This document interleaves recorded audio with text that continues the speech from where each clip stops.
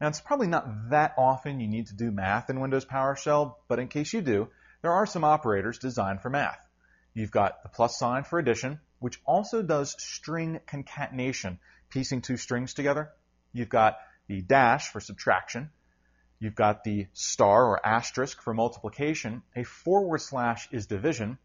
Putting a dash on front of a number makes it a negative. And you've got the percent sign, which gets the remainder from a division operation. There's some shortcut math operators too. For example, dollar sign $i plus plus takes whatever's in i, adds 1, and puts the result back in i. Same thing with i minus minus. Takes whatever's in i, subtracts 1, and puts the result back in i.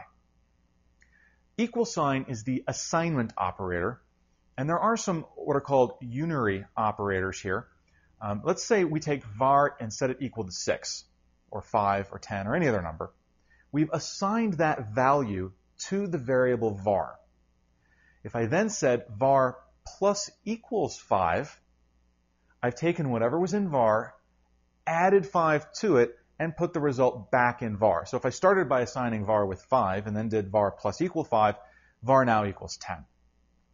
There are some more comparison operators. And we already looked at equal, not equal, less than or equal, greater than or equal, greater than and less than. We looked at those guys already.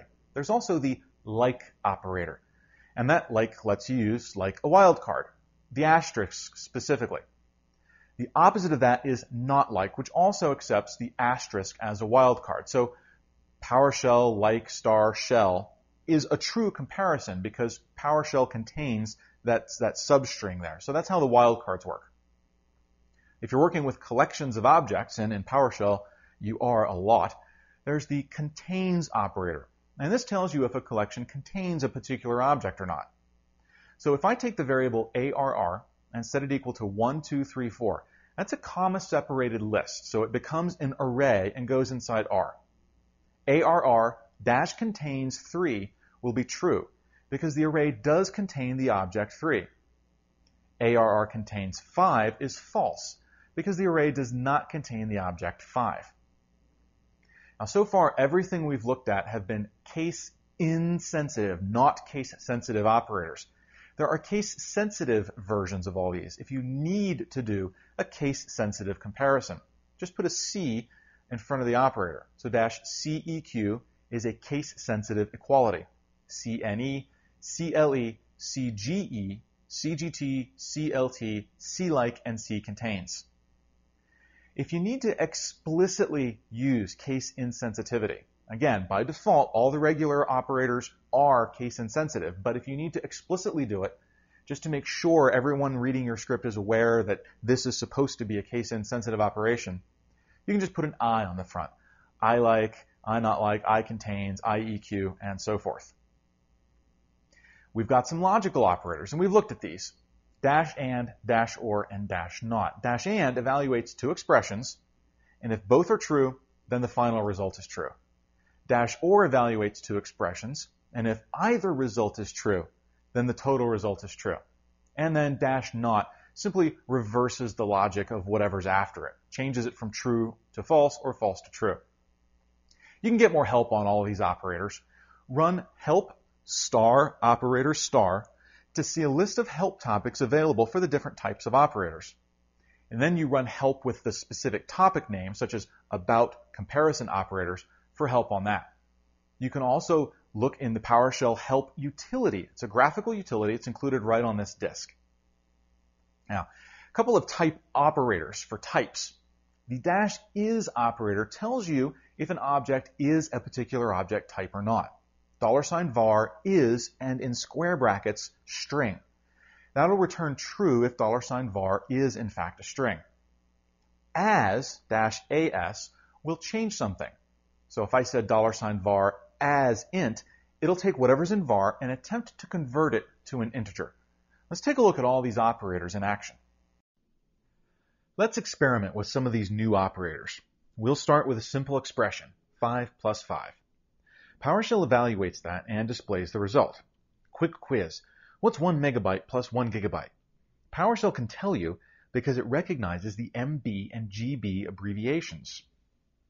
Now let's create a variable, var, and set it equal to 10.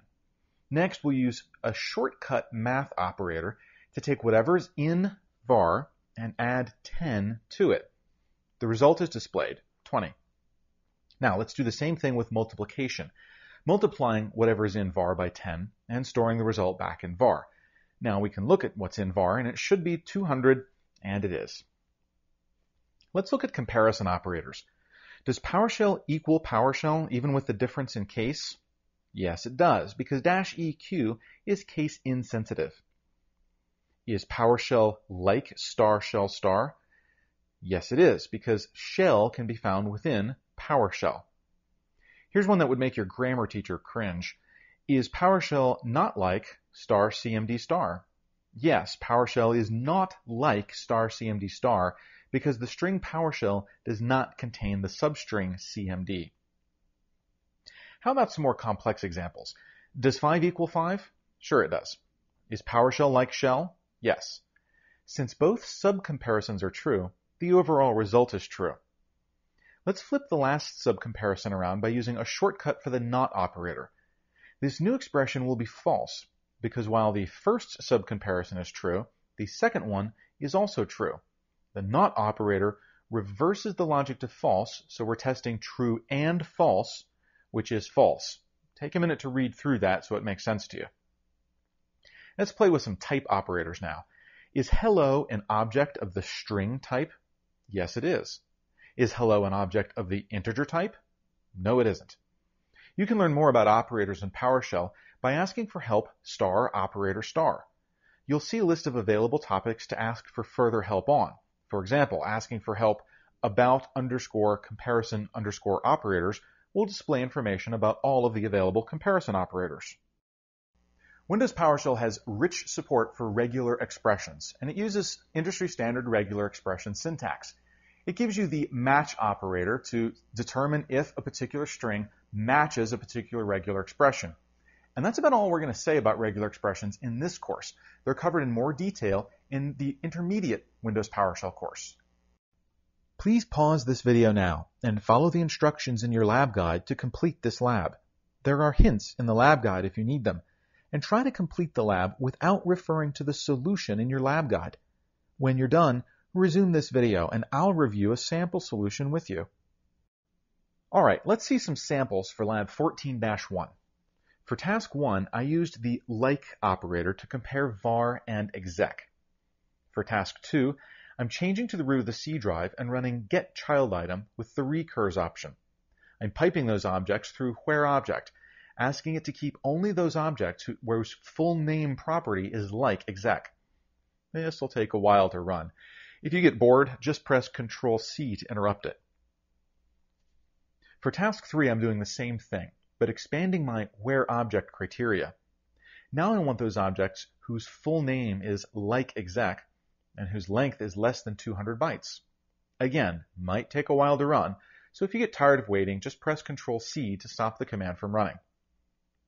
Finally, task 4 is perhaps a more practical example. I'm getting all the files again by using get child item and its recurse option, but I'm using where object to only keep those who have a length property greater than 100 megabytes. This is a handy way to somewhat quickly find larger files on your drive. Once again, it can take a while to run, so once you've seen enough, you can press Ctrl C to break it.